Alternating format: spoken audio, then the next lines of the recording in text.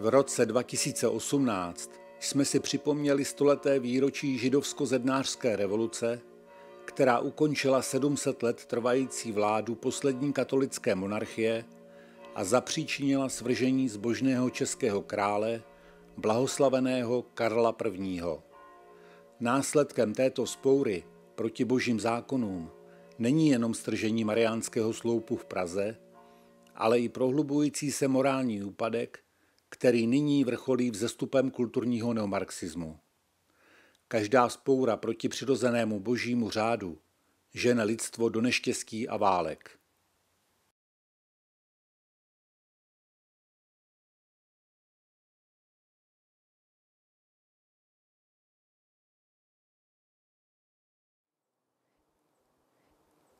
Kříž, symbol naší víry a spásy, stojí pevně navzdory všem finančním a nefinančním krizím, změnám vlád, hrozbám koronaviru či jiného neduhu. Kříž je znamením toho, co je pevné a neměnné, věčné pravdy. Kdo by ji chtěl zničit, se zlou se potáže. Když sledujeme osudy lidí, kteří se v rouhačském obrazoboreckém nadšení po roce 1918 podíleli na likvidaci křížů jako domělých pozůstatků takzvaného temna, zjistíme, že mnoho jich dopadlo špatně. Dokumentuje to mimo jiné sborník ve jménu demokracie z roku 1922. Muž, který házel po kříži kameny, aby rozbil korpus Krista, přišel v továrně, kde pracoval, o ruku. Právě o tu ruku jež metala po krucifixu šutry. Někteří lidé, kteří demonstrativně pálili kříže na nádvořích škol, měli později co dělat s požárem, který jim zničil značnou část majetku. Kříže hořely také v Lidicích na dvoře Horákova statku, jak dosvědčovali pamětníci. Zhruba o 20 let později přesně na tom samém místě provedli esesáci strašlivý masakr lidických mužů. O život přišli i tři muži, kteří se pokusili v době socialismu porazit kříž a zdevastovat místo zjevení Pany Marie na Turzovce. Bůh není mstivý, ale zakazuje, aby byl urážen a posmíván. Tresty, které postihly ikonoklasty a rouhače, jim měly připomenout jejich strašlivý hřích a tak je zachránit pro věčnost. U mnoha katolíků je víra nečinná a mrtvá. A co by mělo být živé, je blízké smrti a věčnému zatracení. Na rady svatého evangelia se zapomíná, po přikázáních páně se šlape, láska skoro vymřela. Můj syn a pravý Bůh trpělivě a tiše nastavuje svoje tváře, aby byl políčkován a zraňován. Kdo odpouští urážky proto, aby ho napodobil, Právě opak je toho zvyklostí jako zákon tohoto světa. A to nejen u věřících, ale i u dětí víry a světla. Co si tedy myslí andělé, svatí a co si myslím i já, když vidím tento svět i všechny věřící v tak nebezpečném a hrozném stavu netečnosti, přestože mají umučení a smrt mého božského syna před očima, mě mají za matku, přímluvkyni, a mají příklad jeho i mého nejčistšího života? Vpravdě ti pravím, má nejdražší dcero, jedině má přímluva a zásluhy Božího Syna, které obětují věčnému Otci, jsou schopny oddálit tresty a ukrotit hněv, zadržet zkázu světa a přísné tresty, které zasluhují děti církve, které znají jeho vůli a neplní ji.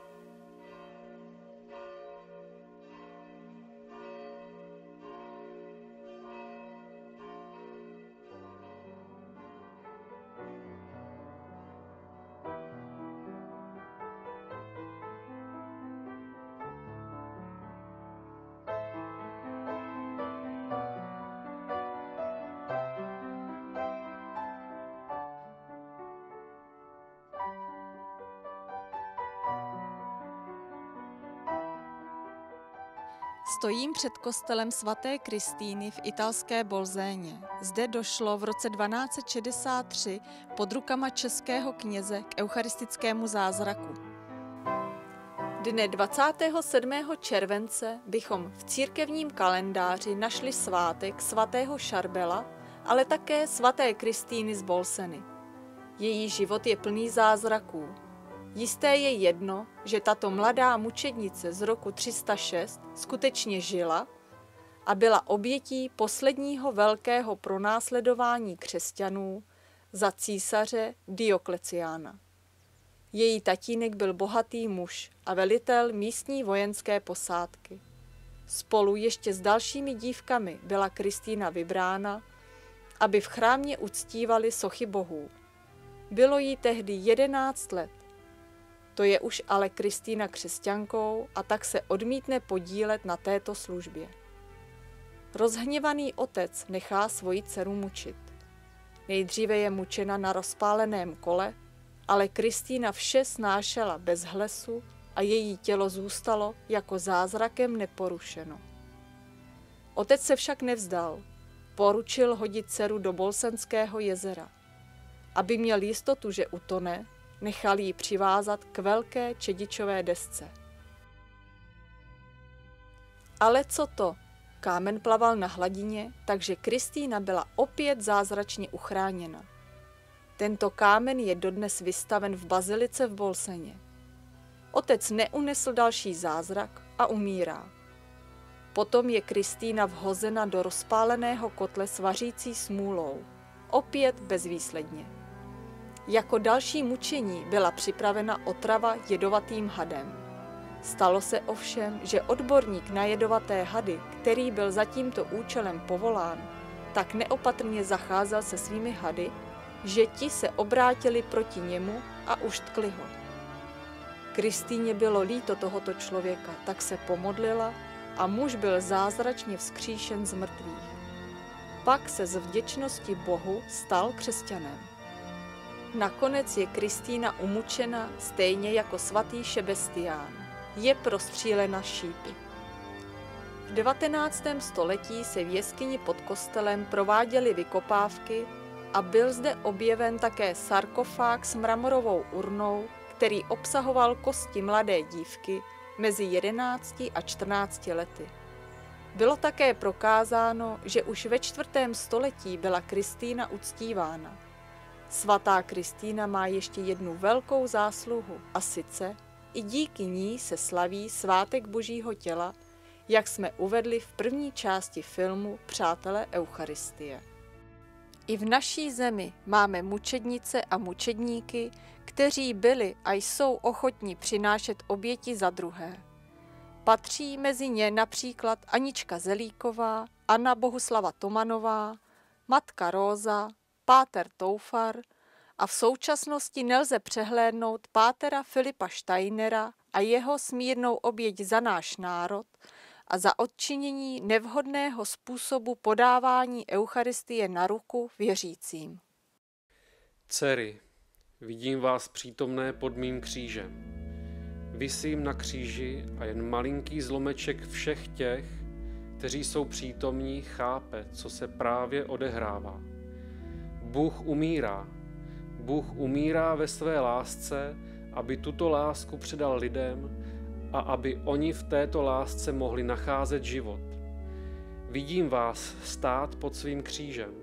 Zatímco mé oči se dívají na vás, mé srdce zasahuje všechny, kteří v historii lidstva otevřou své srdce a budou toužit přijmout lásku od toho, který se nechal znetvořit, zneschopnit a usmrtit. Byl jsem Bůh a abyste mě mohli zabít, Musel jsem přijmout podobu člověka. Vysím na tomto kříži stále dál a dál. Tato skutečnost neskončila tím, že mě z kříže sundali, ale vysím dál na tomto kříži a zvláštním způsobem na tomto kříži vysím přítomný v těch, kteří jsou podobným způsobem jako já znehybněni, zneschopněni a musí trpně přijímat těžkou skutečnost svých omezení. Kdykoliv přicházíte k vašemu knězi, vězte, já jsem to. A tak jako tento kněz trpí pro nepochopení lidí a pro zlé lidské vlastnosti, lidské hříchy, tak já jsem tehdy trpěl visící na kříži.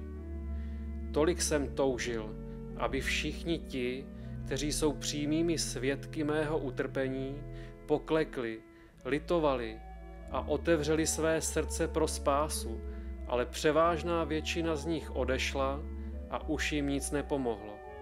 Ani volání mé matky, ani hlásání apoštolů, protože zde na Golgotě se otevřeli pro satana a jeho moc. Ležím přibitý v jeho těle a odčiňuji všechno to, co děti vašeho národa způsobují druhým. Bezmocným, slabým, opuštěným a nemocným. Odčiňuji v jeho těle všechno to, co je způsobeno necitelností dětí vašeho národa. Stále vkládám svoji sílu do jeho zmučeného těla, aby toto tělo mohlo trpět dál. Jak velmi je potřebná tato oběť, protože skrze tuto oběť přijde uzdravení a veliká milost. Mluvím do jeho srdce, abych ho utěšoval. Přijímám podstatnou část jeho bolestí do svého těla, aby jeho utrpení bylo snesitelnější a tolik trpím pro hříchy vašeho národa. Pomozte odčiňovat. Neproste za jeho uzdravení, ale konejte pokání za váš národ. Tím zkrátíte jeho utrpení a umožníte, abyste všichni společně mohli volat. Ať je chválen Bůh, který navštívil svůj lid a přivedl ho do zaslíbené země. Odčiňujte. Každým kajícím skutkem bude mocně zkráceno jeho utrpení. Miluji ho, miluji, tak mocně miluji toho mého syna, kterého jsem pozdvihl k sobě na kříž a on, on mi pomáhá milovat všechny. Pokání, odčinění, lítost, to jsou zbraně, kterými zachráníte mnohé duše a pomůžete ke svobodě těm, kteří jsou zotročeni nebo ukřižováni. Žehnám vám, děti, žehnám vám z kříže. Milujte a skrze lásku odčinujte hříchy druhých, kteří lásku nemají. Amen.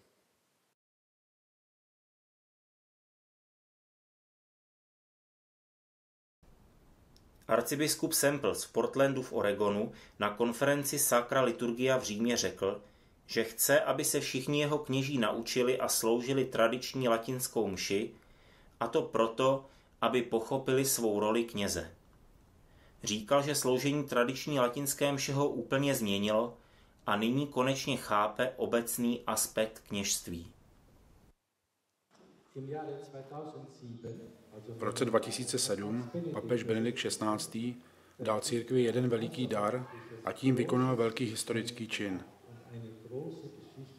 A ten historický čin spočíval v tom, že umožnil všem slavením vše svaté podle tradiční liturgie a tak znovu obnovil v celé katolické církvi slavení tradičního římského ritu a tak otevřel všem věřícím přístup k tomuto ritu. Katolíkovi, který má malou, respektive žádnou zkušenost s tradičním mší, se nová mše jeví jako ta nejvhodnější, protože zná pouze takovou mši, cítí se na ní pohodlně a jako doma. Nová mše je jedinou mší, k níž mají všichni katolíci na celém světě bezproblémový přístup. Je to jediné, co znají a co dokáží posuzovat. Avšak většina katolíků je v podstatě s novou mší spokojená. Možná někteří konzervativní katolíci by preferovali novou mši latinsky nebo ad orientem. Ptáte se, jaké jsou rozdíly mezi slavením tradiční mše svaté a při nové mši? Tradiční mše je zaměřena na uctívání Boha. Setrvání na kalvárii při reálné nekrvavé oběti Pána Ježíše na kříži. Na knězovu prozbu Pána Ježíše, aby se u svého Otce přimluvil za odpuštění našich hříchů, na pokornou modlitbu, abychom při této oběti získali spásu a milosti. Při tradiční latinské mši je samozřejmé, že Bůh Otec koná skrze jeho syna Ježíše. Pán Ježíš koná skrze kněze in persona Christi. V latinské mši je hierarchie, biskup, kněz, nižší stupně svěcení, ministranti, lajci, jako v Božím království a v katolické církvi. Kněz má speciální roli při modlitbě k Pánu Bohu. Kněz se modlí posvátnou část kánonu a konsekrační slova tajemně a potichu. Lidé doprovázejí panu Marii a svatého apoštola Jana kontemplací pod křížem, zatímco pán Ježíš obětuje svému otci svůj život za naši spásu. Při oběti pána Ježíše na kříži jsou lidé asistenty. Lidé pokorně a pasivně přijímají boží milost při vnitřní modlitbě.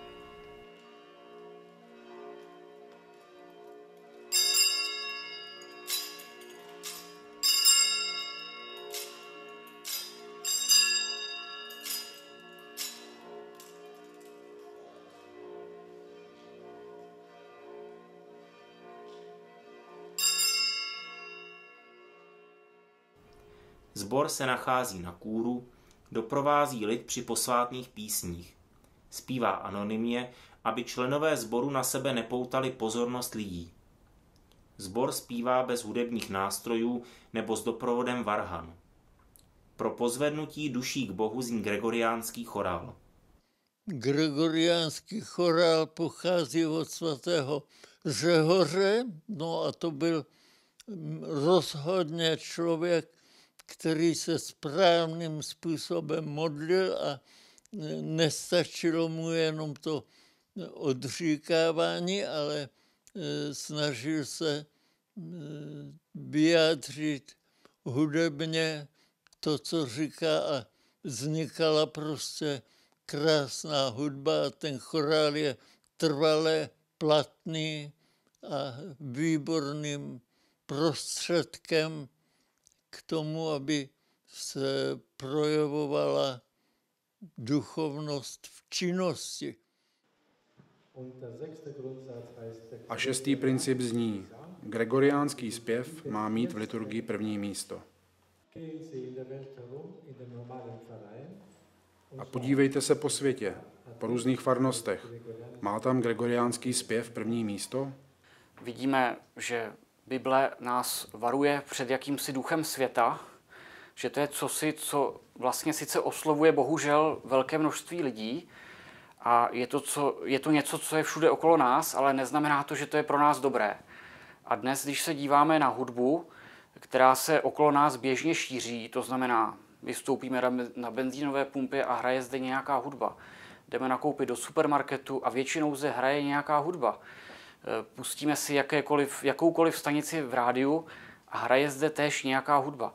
Bohužel musíme trošku se smutkem konstatovat, že to je taková jakási banálnější hudba, něco, co nám moc toho nedává, co v podstatě používá stále stejné podobné vyprázdněné prostředky a že vnitru tak nějak toužíme po něčem asi hlubším, co nám toto nemůže dát. A v podstatě na tu otázku, co je vhodná liturgická hudba, tak zcela jistě můžeme odpovědět, že to není to, co se na nás valí ze všech stran. A jelikož chrámové prostředí je cosi mimořádného, že už jenom architektonicky, výtvarně, tak zcela jistě, když v těchto všech oblastech se za historii vlastně, kdy tyto chrámy byly budovány, kdy je o ně pečováno, se směřovalo tak nějak k tomu nejlepšímu, aby ti mistři, kteří byli v tom daném oboru opravdu dobří, aby vytvořili vlastně to, co je opravdu jakoby nějakým způsobem nás všechny přesahuje, tak eh, proč by to nemělo být i v hudbě? Že? Je to tedy hudba, která má obsah, která má ten cíl opravdu, aby nás pozvedla, povznesla, aby nám e, tak nějak e, nebránila v prožitku určitého božího pokoje a je to tedy něco, co třeba i stojí nemalé úsilí, ale přesto to má právě hodnotu každá dobrá hudba má melodii, má harmonii, má rytmus, ale to je rytmus v řádu. Řád je rozpoložení pro úžasně souladné vidění a vnímání reality. Ještě k tomu rozlišení, kdy se snažíme vlastně posoudit, co skutečně hodnotné je a co není, tak mě napadá ještě jeden takový rozlišovací vlastně pohled z, jakoby z druhé strany. A sice z té, kdy jsem často v roli pedagoga vedl nějaké třeba mladé žáky, varhaníky a byl jsem svědkem toho, jak na začátku jejich cesty, která trvá třeba řadu let, než se naučí dobře hrát, tak eh, byly skutečně nemalé překážky a obtíže, s kterými se vyrovnávali ve vztahu i k poměrně jednoduchým varhaním skladbám. A na tom jsem si uvědomil, že to je něco, co skutečně vyžaduje nemalé úsilí. A že tedy je v tom ta hodnota právě proto, že vlastně to není tak snadné toho dosáhnout, když to právě ta méně kvalitní eh, chrámová hudba, nebo ona není ani vlastně chrámová, ale hudba, která nám do té liturgie pronikla, vloupala se nám tam, tak eh, vlastně eh, tu opanujeme celkem jednoduše snadno, že člověk, který nemá žádné hlubší třeba hudební školení, tak v podstatě může velice brzy tímto způsobem působit. Ale právě tím, že zatím ani není potřeba příliš hlubší úsilí, tak eh, už i na tom je vidět ta rozdílnost hodnoty těch daných žánrů. Existuje jen jeden způsob obětování tradiční mše, a rubriky se musí dodržovat.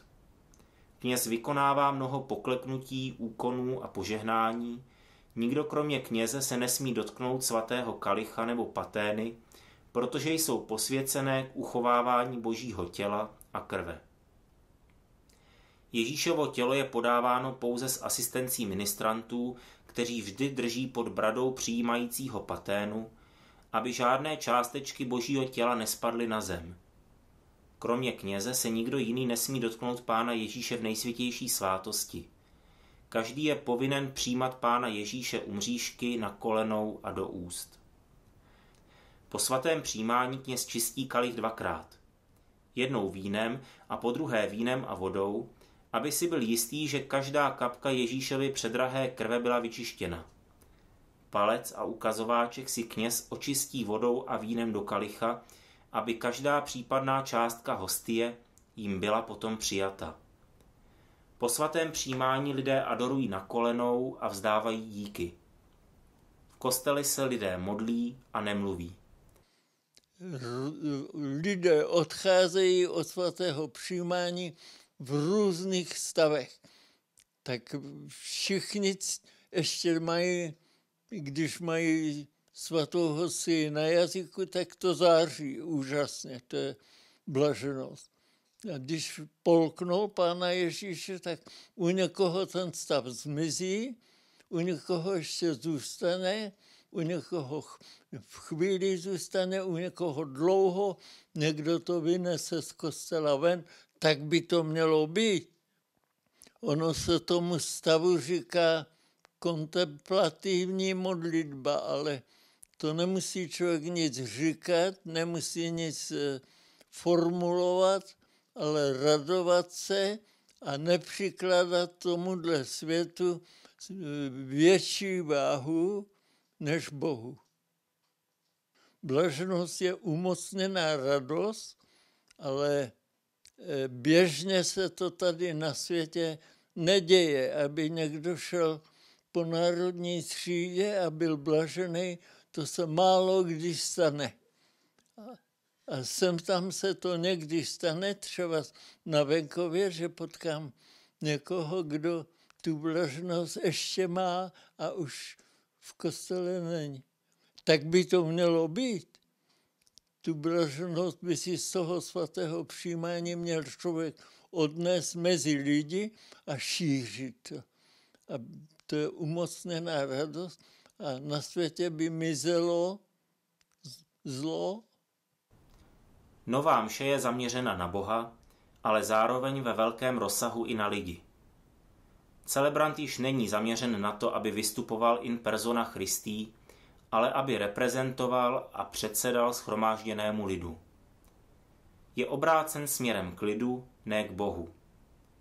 Ve skutečnosti je celebrant centrem představení a mnohdy se snaží být vtipný.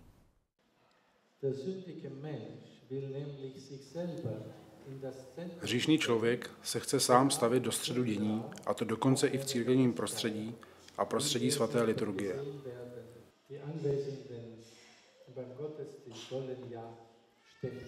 Účastníci bohoslužeb mají vidět neustále kněze a ten se staví doslova do středu liturgie a sedí na svém křesle uprostřed. A proto také Ježíš Kristus, který je přítomný ve svatostánku, bývá odsouván někam na stranu, protože údajně ruší. Mnie się wydaje, że przyszłość Kościoła idzie w kierunku protestantyzacji. Co se týče té budoucnosti církve, tak se mi, katolické církve, tak se mi zdá, že ta směřuje více tou cestou protestantizace. Luther przyniósł wiele szkody w Kościele. Z jego pozycji rodził się komunizm i faszyzm. Luther napáchal v, uvnitř církve mnoho škody a z jeho těch myšlenek se následně zrodil komunismus a fašismus. I dzisiejsze, szczególnie biskupi, które w Niemczech mieli taki ekumenizm z luteranami, stali się jeszcze gorsi jak luterani. A dnes ti biskupové například v Německu, kteří uh, se velmi přátelili a chtěli být uh, podobní tomu luteránství, tak uh, jsou dnes daleko horší než samotní luteráni. Die erste Wunde ist, dass äh, der Priester bei der ganzen Messe mit dem Gesicht zum Volk sich hinwendet. První rána liturgie je, že kněz slouží mši svatou čelem k lidu. Mit dem Rücken. Někdy se nesprávně říká, že kněz celebruje zády k lidu. Aber wenn wir in einer Prozession sind zusammen, dann ist ja auch der Ale jsme-li v procesí a pokud je mše svatá jako procesí k pánu, tak to jinak být nemůže, než že je kněz zády k lidu, jinak by musel jít pospátku. A tak tomu je i při mši svaté. Předu je kněz, obrácený tváří ke Kristu a za ním věřící, podobně jako při procesí. Ist ähm, Nikdo se taky nepohoršuje nad tím, když řidič autobusu sedí zády k lidem, kteří jsou v tom autobuse. To by bylo životu nebezpečné, kdyby řidič autobusu chtěl řídit autobus čelem k lidu. A je čas, aby se církev jak navenek, tak i uvnitř celá otačila směrem k pánu. Druhá rána, a tu považuji za nejhlubší, tak to je všeobecně rozšířené moderní podávání svatého přijímání na ruku. Tato forma svatého přijímání totiž nikdy neexistovala. V prvních stoletích to vypadalo tak, že svaté přijímání se přijímalo na pravou dlaň a nebylo dovolené se jí dotýkat prsty. A věřící, kteří takto přijali svaté přijímání na pravou dlaň, se potom hluboce předklonili a takto ústy přijali nejsvětější svátost, aniž by se jí dotýkali prsty. Ženy nepřijímaly na holou ruku, ale na ruce měly něco jako malý korporálek. To, že se člověk nechce poklonit před Bohem, je ten největší hřích. Láska mezi rodičem a batoletem není láskou přátelskou, protože tam chybí rovnost. Pán Ježíš říká apoštolům, už vás nenazývám služebníky, protože služebník neví, co dělá jeho pán. Nazval jsem vás přáteli, protože vám jsem oznámil všechno, co jsem slyšel od svého otce.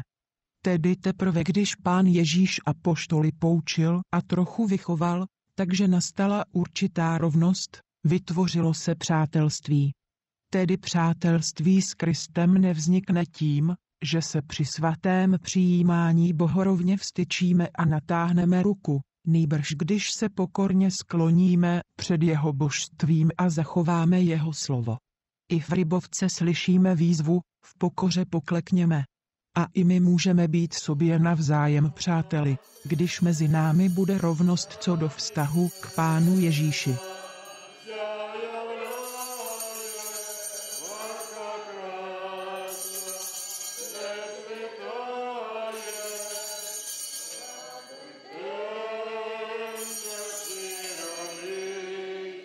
Svatá matka Teresa prohlásila, že přijímání Eucharistie na ruku je největším světovým problémem a pro ní osobně nejsmutnější věcí. A dodala, když lidé ztratí úctu ke Kristu v Eucharistii, ztratí úctu i k sobě navzájem. Pod tlakem ducha doby jsou s farností vyháněni kněží, kteří mají úctu k tradici a nahlas lidu připomínají základní pravdy učení katolické církve. Tito pastýři hluboké víry jsou svými ovečkami udáváni, křivě obvinováni a ponižováni v očích veřejnosti i biskupů. Jen hloupé ovce vyhání dobrého pastýře a vůbec nedbají toho, že za jejich zády je slyšet vytí vlků. Kiedy mówiłem w swoim liście, że polityka Watykanu, e, szczególnie sekretariatu stanu, oni wybierają niestety nie najlepszych biskupów, tych, którzy wierni Kościołowi i Ewangelii. Já jsem ve svém dopise zmiňoval, že eh, ten vatikánský sekretariát státní vy, vybírá špatné biskupy, ne, ne ty, kteří jsou věrni církvi. I niestety taka sytuacja jest, że większość biskupów w Watykanie taki liberalny i modernistski. Mówią nie o czym i nie ma w ich wypowiedziach ziarna Ewangelii. A bohužel taková je situace, že ti e, noví biskupové jsou velmi e, pokrokoví a v těch jejich slovech není e, ani zrnko pravdy.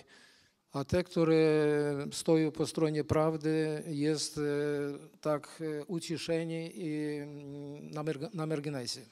A ti biskupové, kteří stojí právě po té stran- na té straně pravdy, tak jsou bohužel marginalizováni. Aniž bych chtěl zabíhat do politiky, všechny demokracie po vzoru té americké se výslovně hlásí ke krvavé francouzské revoluci z let 1789 pomlčka 1795. Jejímž hlavním cílem bylo zničit katolickou církev a odstranit katolického krále.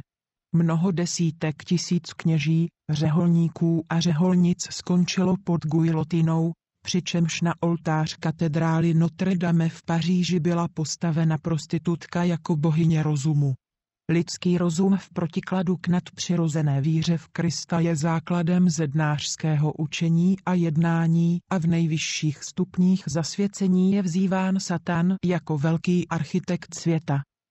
Masony w 1820 roku mówili tak. My papieża nie zrobimy masonem, ale e, wejdziemy do seminarii z naszymi liberalnymi ideami. E, V roce 1820 e, svobodní zednáři říkali, že z papeže neudělají zednáře, ale e, že mohou alespoň vkročit do seminářů s jej, jejich e, liberálními názory. A potem te seminarzysty staną księżmi z liberalnymi ideami, potem biskupami z liberalnymi ideami, potem będą w otoczeniu papieża i będą na niego wpływać tak, że on będzie podpisywał niektóre rzeczy nam wygodne. A z těch liberálních seminaristů se pak stanou liberální kněží, z nich liberální biskupové, kteří budou e, v okolí papeže a budou ho nutit e, podepisovat a říkat věci, které se budou líbit jim. I wydaje się, że coś podobnego w tym dzieje się w dzisiejszym stanie Kościoła. A vypadá to, že dnešní stav církve těmto slovům bohužel odpovídá. Kiedy z Watykanu idzie taka, mm, em, takie pismo, że nie, nie, moż, nie, nie trzeba nawracać Żydów, Když z, z Vatikánu přichází dopisy, že není třeba obracet na víru Židy, to wtedy ja zadaję pytanie, jako prosty katolik, czy jakiś jest inny Zbawiciel oprócz Chrystusa? To já se tedy ptám jako prostý katolík, eh, zda existuje ještě jiný vykupitel než, než spasitel, než je Kristus. Czy Żydzi niezdolni do zbawienia, Nebo jsou snad Židi neschopní e, spasení, jeżeli ich nie trzeba nawracać? pokud je tedy nemáme e, navracet na pravou víru. A przecież e, apostolowie głosili Ewangelię pierwsze, pierwsze Ewangelii głosili Żydom, poczynając od Jerozolimy, to co im Chrystus powiedział. A přece apoštolové jako první e, hlásali e, novou víru ži- Židům v, Jerozo, v Jeruzalémě. I pierwsi wierzący byli Żydzi, Prvními věřícími byli Židé. jak i prześladowcy też byli Żydzi. A jejich pronásledovatelé také Židé. Po dzisiejszy dzień ta sama sytuacja dzieje się dalej. A v, i v současnosti vypadá uh, ta situace úplně stejně. Jest takie przysłowie, powiedz kto twój kolega i ja powiem kto ty jesteś. Je takové poře, přísloví, že řekni mi, kdo je tvůj přítel a já ti řeknu, kdo jsi ty. To samo, jeżeli u papieża jest e, doradcy, którzy już wiary nie mają albo żyją innym duchem, to się nie dziwi, że papież może być też e, w tym otoczeniu manipulowany. A to samé s papežem, pokud žije v tom eh, okolí lidí, kteří nes, nejsou na té správné straně, tak i on poté může eh, vykonávat kroky, které nejsou, nejsou dobré.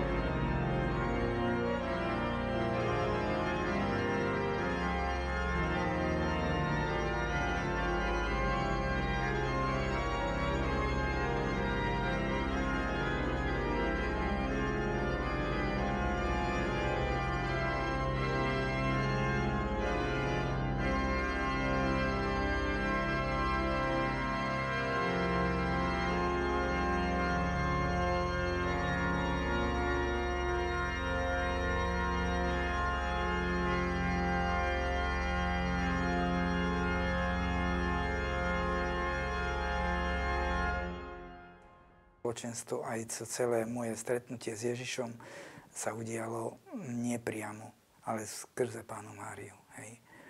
Prečo? Lebo ako nemuselo to tak byť, pretože, pretože mohlo sa to stať aj priamo. Prečo to Pán Ježiš tak chcel?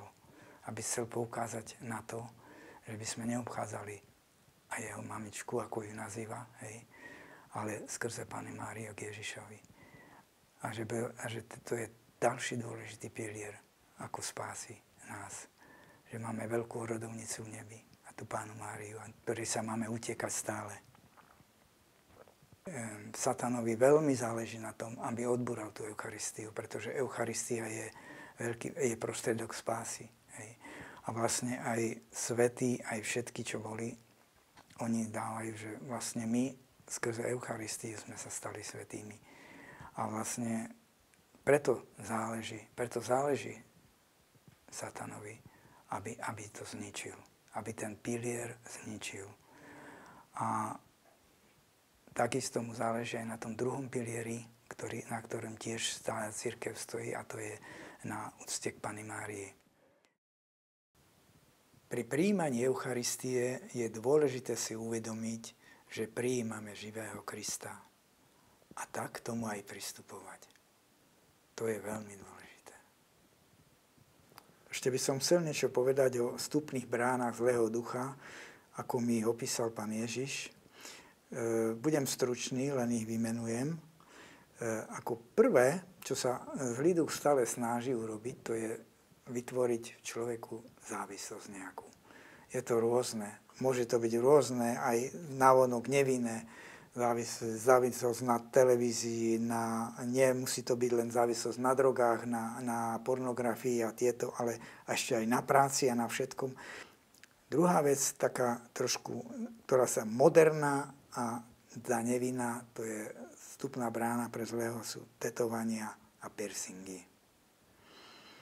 Ďalšia vec, pred ktorom mm, pozornil, že je tiež vstupná brána, sú homeopatika. A ďalšia ešte sú tzv. Halloweeny a karnevaly. Bohom je stanovený ako sviatok všech svetých, kde oslavujeme všetkých svetých. Diabol si zaviedol svoj sviatok, Halloween, oslava zatratených je to veľmi nebezpečné, pretože ľudia si neuvedomujú, že vlastne tým vpúšťajú zlého ducha a môžu mať z toho veľké problémy, aj keď si to s tým nespájajú.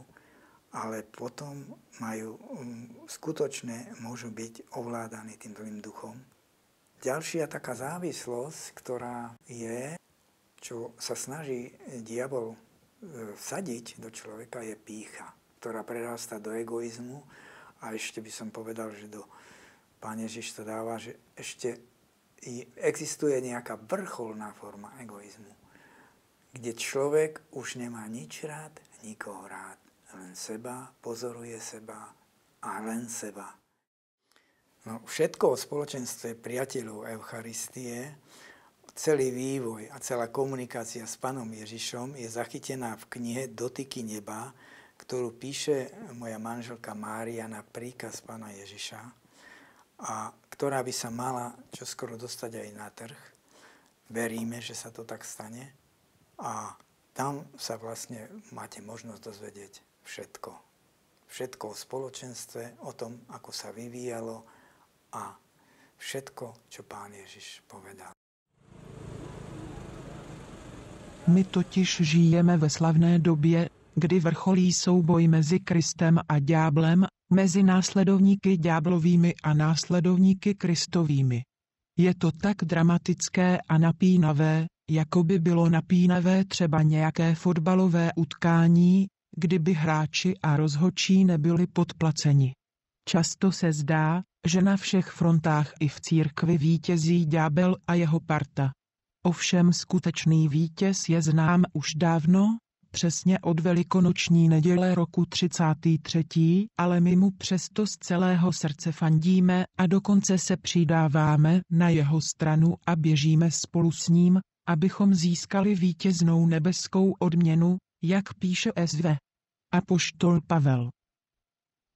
Avšak jako boží sportovci musíme držet své tělo, to je sebe sama, v tuhé kázni a i podstupovat nějaké utrpení, neboť Kristus nám neslibuje bezbolestnost, ba naopak, chce-li kdo jít za mnou, zapři sám sebe, ber na sebe každodenně svůj kříž a následuj mne, a sv.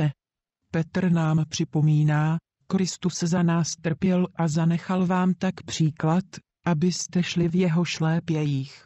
Popravdě řečeno, utrpení se nevyhnou ani ďáblovi přisluhovači, protože od prvního hříchu je tento svět slzavým údolím. Ovšem oni budou po krátké prolhané radosti trpět jako zoufalci už na zemi a pak v pekle. Ale pro nás pán nedopustí, abychom byli zkoušeni nad svoje síly, jak píše SV. Apoštol Pavel. Chtěl jsem říci, že Kristovo z mrtvých vstání je naprosto nutné pro naši spásu.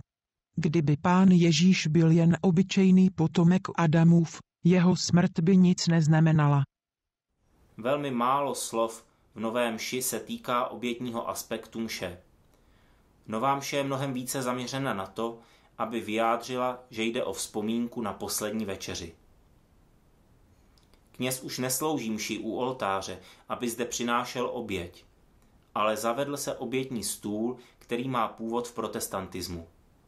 V jeden večer po Svetej Omši som zamkol kostol a s miestnym kňazom sme sedeli spoločne na fare, ešte aj s nejakými ľuďmi. A boli určité nejaké také e, problémy vo farnosti a pri takom spoločnom debatovaní kňaz povedal, páne, daj nám nejaké znamenie. A nikto z nás nevedel, čo by to malo byť, akým alebo aké znamenie, o aké znamenie sa má jednať. No a tak sme sa rozišli, popriali sme si dobrú noc, odišli sme domov. A bolo to vlastne v roku 2015 z 13. na 14. apríla. Bolo to po nedeli Božieho milosrdenstva z pondelka na útorok. V útorok ráno u nás bývala Sveta Omša ráno o 7. Službu v kostole som nemal ja, ale môj brat, nakoľko ja som išiel do práce. Prídem ráno do práce a kolega mi hovorí, počúvaj, čo ste robili v noci okolo 3. 4. v kostole? V jednom okne, tam napredu, sa zažlo, zhaslo, zažlo, zhaslo, ako keby tam niečo horelo. Ostal som z toho taký v šoku, zobral som telefón, intuitívne som zavolal bratovi a len som počul brata, ako kašle do telefónu. Netrvali 2-3 minúty, sadol som do auta, letel som do kostola. Našiel som brata sedieť za zakristiou, ako kašlal. Z kostola sa dymilo. Čo sa deje? Zobudili sme kňaza, kňaz prišiel, zavolali sme hasičov. Horí kostol, nikto nevedel, čo sa deje. Zobral som telefón, volal som kňazovi do susednej farnosti. A kňaz do susednej farnosti mi hovorí, vyťahnite zo svetostánku pána Ježiša Eucharistiu aj za cenu života. Povedal som to kňazovi, že má vyťahnuť Eucharistiu a on hovorí, choď ty, ja nejdem. Už tak som zobral šatku, dal som si ju na nos. Medzičasom prišiel hasič, ktorý teda zasvietil s baterkou do zadimeného priestoru kostola. Predtým som zažol 4000 W halogenové reflektory, ktoré boli v 12 metrovej výške na klenbe. V tom zadimenom priestore kostola som nevidel ani lúč svetla. Jediné, čo som zbadal, boli dve červené svetlá na stĺpoch, ktoré vlastne pre nás jak si signalizujú, že je tam svetostánok, že sa nachádzame v katolickom kostole, že je tam prítomný živý Ježiš Kristus. Vbehol som, otvoril som svetostánok, vyťahol som monštranciu, v ktorej bola Eucharistia, vyťahol som ciborium, v ktorej bola Eucharistia, priniesol som ich takto kňazovi. Spravili sme na fare tabernákulum, kde sme uložili Najsvetejšiu sviatosť. A konsekrovaná hostia, ktorá bola v monštrancii, bola od tepla prehnutá do zhruba pravého uhla. Bolo to zvláštne, bolo to také hektické, nikto z nás nechápal, čo sa deje. Ženy, ktoré chceli ísť do kostola, stáli pred kostolom, nevedeli čo. Ja som vybehol, hovorím, Sveta Omša nebude, modlite sa, modlite sa. Nevedeli sme, čo sa deje. Potom hasiči vyvetrali priestor kostola a začalo sa vyšetrovanie, čo sa tam mohlo asi stať. A bolo to také zaujímavé, že po vyvetraní celého priestoru kde boli zadimené všetky steny a tak. Prišli sme na to, že požiar, ktorý v kostole vznikol, nikto nevie ako, spôsobil, že zhorel iba obetný stôl. Iba obetný stôl.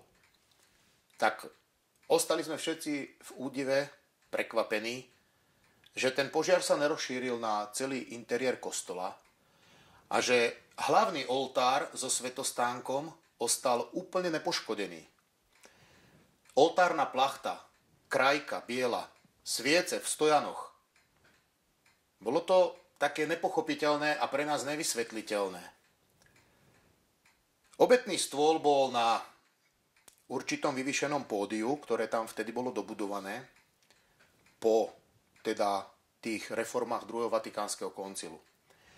Ale vedľa obetného stola stál kríž, ktorý uctievame na Veľký piatok. Je to, je to kríž, ktorý je zhotovený z tepaného bronzu a korpus Krista je na ňom z lipového dreva. Ten kríž bol absolútne nepoškodený, nedotknutý. E, žiara z toho ohňa musela byť tak silná, keď mosadzné zvonce a svietniky, ktoré boli na ňom, boli, dá sa povedať, pomaly roztopené, a lipové drevo, z ktorého bol pán Ježiš na kríži, bolo absolútne nepoškodené. Takisto aj na ambóne bol tá krajka nepoškodená. Hasický vyšetrovateľ, ktorý tam prišiel a vyšetroval príčinu požiaru, skúmal okolnosti a bol z toho udivený a nechápal. Nevedel, čo má napísať do záverečnej správy. Hovorí, vidím, že máte zodpovedného kostolníka, ale nemôžem tam napísať, že to je nadprirodzeného pôvodu. No. A vychádzalo mu to tak, že epicentrum požiaru alebo miesto vzniku požiaru bolo v mieste, kde kňaz stáva pri obetnom stole.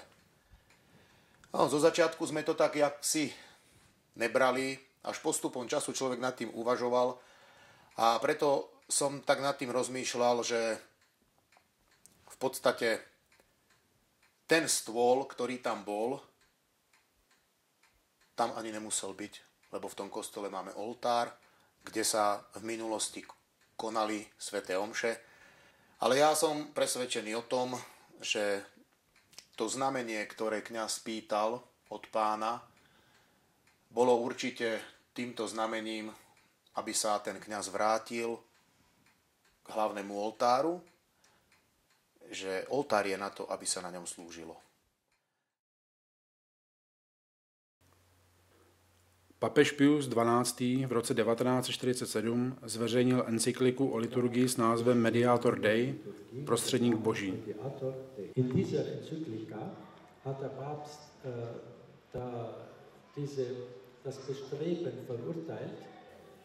A v této encyklice papež odsoudil požadavek, aby oltář byl uspořádán jako stůl s tím, že to je proti tradici církve. Do nové mše je zapojeno mnoho lidí jako lektoři a mimořádní přisluhovatelé svatého přijímání. Do presbytáře a kolem něj už může kdokoliv chodit, jako například rokové kapely nebo členové sboru. Na mši je povolen téměř jakýkoliv druh hudby a zpěvu. Zbor a hudebníci vystupují pro lidi a jsou k ním otočení čelem. Hraje a zpívá se proto, aby se lidé cítili šťastně a srdečně. E, Ti, co hrajou z těch mladých lidí na tu kytaru, se na tu kytaru neučují. Čili oni hrají naprosto neodborně a každá neodbornost e, nevyjadřuje buď to nic, anebo e, věci banální, které oni dovedou na tu kytaru zachytit. No a banalita a skutečnost, která v kostele samozřejmě je, e, jsou v naprostém rozporu. No tak e, na člověka, který trochu vnímá ty věci hluboké, to působí komicky. No tak buď to se směje, nebo se rozlobí na ty, kteří to pro, provozují, protože oni vysloveně komicky e, zesměšňují vlastně nebo degradují e, ty věci skutečné. Na novém mši jde většina lidí ke svatému přijímání. Ve stoje přijímají pána Ježíše na ruku. Podlaha je tak plná částeček božího těla, které spadly na zem z rukou lidí. Potom po nich všichni lidé chodí.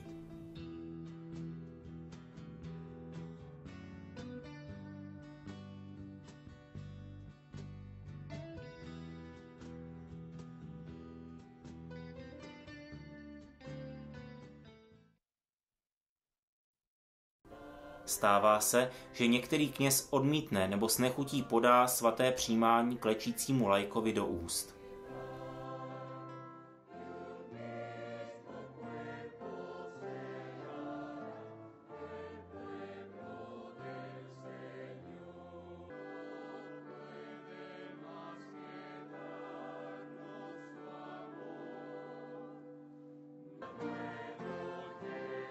Děti a další lidé jsou často zváni, aby se postavili kolem oltáře a modlili se s předsedajícím. Většině se to líbí, protože středobodem jsou zlaté děti a lidé. V tradičním ritu kněz ustupuje do pozadí. Kněz i lid patří k sobě do téže skupiny, na tutéž stranu dialogu a druhou stranou dialogu je trojediný Bůh tradičním ritu je středem zájmu všech, tedy kněze i přítomných věřících Ježíš Kristus. Skutečně věřící člověk nemá problém s tím, že jednou stranou dialogu je kněz i lid dohromady a druhou stranou je Bůh. Ale pro nevěřícího je takové pojetí nepřijatelné, proto obsadí strany dialogu jinak. V novém ritu spíše přichází celebrant k přítomným a oni přicházejí k němu, Mnohdy dělají setkání, jako by Boha nebylo. Není to způsobeno přímo novým ritem, jako ani jiná zde popsaná negativa. Nicméně nový ritus, jak je, k tomu vede, vedl a dovedl.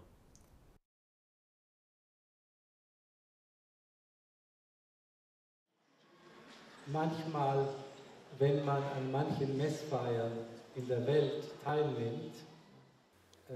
Když někdy vidíme, jak se různě po světě slouží mše svatá, tak z toho můžeme mít dojem, jako by lidé oslavovali sebe samé navzájem, místo toho, aby oslavovali Krista. Es gibt einen sehr schönen Satz in einem Psalm, nämlich dem Psalm 113. V Žalmu 113 se nachází moc krásný verš, který říká Nikoli nám, pane, nikoli nám, ale svému jménu sjednej slávu. Ale když se podíváme, jak se mnohdy slouží mše svatá, kde lidé sedí v kroužku, tak se zdá, jako by slova žalmu byla převrácená a zněla Nám, pane, nám, pane, nikoli tobě sjednej slávu. Žádný katolický kostel není náš kostel, ale je to chrám boží, tedy patří Bohu. Z toho plyne, že chrám boží není místem pro konání koncertů, oslavy člověka, divadelních představení, či vernisáží a podobných akcí. Kostel je striktně místem bohoslužby, přijímání svátostí, modlitby a klanění se Bohu. Kde jinde než v kostele chcete projevit úctu k Bohu svým vnitřním a vnějším postojem? Kde jinde chcete pokleknout před Bohem, když ne v kostele, před svatostánkem a Eucharistií? Prosím všechny řeholnice a řeholníky, aby vždy poklekli z úcty k Bohu i při svatém přijímání a šli tak dobrým příkladem lajkům. Nebo se snad něco změnilo v postavení pokoncilního katolíka vůči Bohu? Prosím zvláště mariánské kněze, aby učili hluboké eucharistické úctě, vnitřní a vnější, která je tak samozřejmá a příkladná u Matky Boží a v tradiční latinském mši svaté. V tradičním ritu je kněz otočen ke svatostánku, tedy k Bohu. V novém je čím dál častěji svatostánek i kříž vytlačován ze středu, na okraj liturgického prostoru nebo dokonce zcela mimo liturgický prostor. V tradičním ritu je vše zacíleno na Boha. V novém spíše na člověka, ať už na jednotlivce nebo na společenství. Tradičním ritu se lid soustředí na Boha a neodchází s prázdnou. Na člověka je zaměřen Bůh, který dává při liturgii lidem své dary, lidem je dáváno ovoce té oběti, již se účastní. Nicméně oběť může být přinášena pouze Bohu. V tradičním ritu zaznívají náročné, účastníkovu úroveň přesahující texty, které ho tím pádem mohou pozvednout a posunout. Nový ritus je záležitostí spíše společenskou. Setkání farnosti, ne bohoslužba, tedy ne služba Bohu. Infantilnost mnoha mší v novém ritu, výzdoby a celého prostředí nejednoho kostela vede k podvědomému přesvědčení, že mše svatá sama o sobě je čímsi dětinským. Člověk na Prahu dospělosti pak spolu s odmítáním všeho dětinského odmítne i mši a vůbec celé křesťanství jako cosi infantilního. Řekne si, z toho jsem už vyrostl. U mší svatých v tradičním ritu nic takového nehrozí. Dnes se také bojím. Děsí mě například výprodej katolické víry hlavně mezi mladšími lajky i kněžími. Laciným big beatem, spoustou ducha prázdných dojemných akcí a plitkým odbavováním mše svaté snad někdo chce získat trvalé nadšení pro Pána Ježíše. A důležité součásti naší víry, jako hluboká modlitba, sebezápor, oběť a cvičení se ve ctnostech, často zůstávají nepovšimnuty. Závěrečná otázka zní, opravdu věříme, že je Bůh, Ježíš v nejsvětější svátosti oltářní? Pokud ano, Bůh si zaslouží klanění, úctu a ochranu. Lze zodpovědně říci, že tradiční latinská mše mnohem více chrání tělo a krev Pána Ježíše přes nesvěcením jakýmkoliv způsobem. Tradiční mše má jednoznačný silný obětní aspekt, jak u mše, tak i u kněze. Nemá protestantský důraz na poslední večeři, jak to prosazoval Luther – obsahuje modlitby a gesta, jež usnadňují klanění, které si Pán Ježíš zaslouží od nás, svého stvoření. No pán Ježiš ešte odkázal všetkým členom. Každému z vás vytriskol vo, vo, vo, svojom, vo vašom srdci prameň živej vody. Rozlievajte vo svojom okolí na svojich blížnych a dávajte pozor, aby vám nevyschol. A takisto povedal jedno, že tým, vlastne, že získali ste kúsok mojho srdca, vlastne dostali ste kompás, ktorý vás v tomto živote bude sprevádzať a privede vás ku mne. Pán Ježiš založil toto spoločenstvo vlastne na záchranu církvy a na záchranu duší. A o duši človeka povedal jedno krásne podobenstvo, ktoré by som chcel teraz e, povedať. Duša človeka je ako surový diamant. Keď ho nájdeš, ani nezbadáš, že je to diamant. Akú má obrovskú hodnotu. Mnohí ho aj zahodia, lebo vyzerá ako obyčajný kameň. Do neba sa ale dostane iba briliant. Preto ten diamant musím obrúsiť. Najlepšie je, keď ho obrúsim už tu na zemi, lebo ak sa neobrúsi na zemi, musí sa ísť obrúsiť do očistca. Briliant ide rovno do neba. Ježiš. La fede è amore e perciò crea poesia e crea musica. La fede e gioia e perciò crea bellezza. Le cattedrali non sono monumenti medievali, ma case di vita dove siamo a casa, incontriamo Dio, ci incontriamo uno l'altro.